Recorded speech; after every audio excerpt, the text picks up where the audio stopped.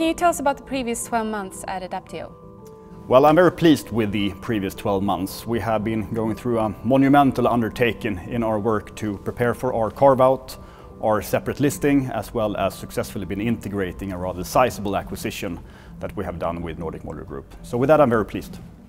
So how would you summarize Adapteo's second quarter? Well, taking into account all the work that we have done to prepare for this carve-out, the IPO preparations, as well as the integration, I'm, I'm quite pleased with, uh, with large parts of the performance. We still reached a comparable EBITDA of 22.9 million euros, which is an increase by 9%, driven by strong performance in the business area rental space. However, in the business area permanent space, we have uh, more to see, and, and we are continuing to take our corrective actions to improve our performance there for the coming periods. What's your outlook for the rest of the year? For the rest of the year, we expect that the market activity will pick up from the slightly lower market activity levels that we have seen in the first part.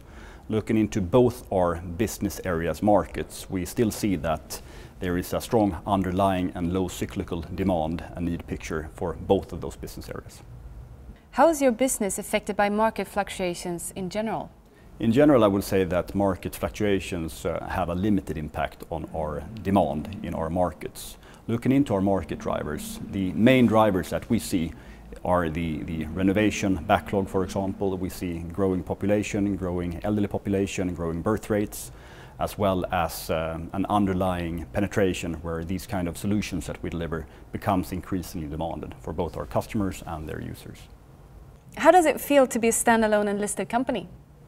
It feels good to be a standalone and listed company. That gives us the opportunity to have a focused strategy and devote all our commitment to capturing the opportunities that we see in the market. And uh, on that note, I also would like to take the opportunity to thank and welcome all our new shareholders in Adapteo.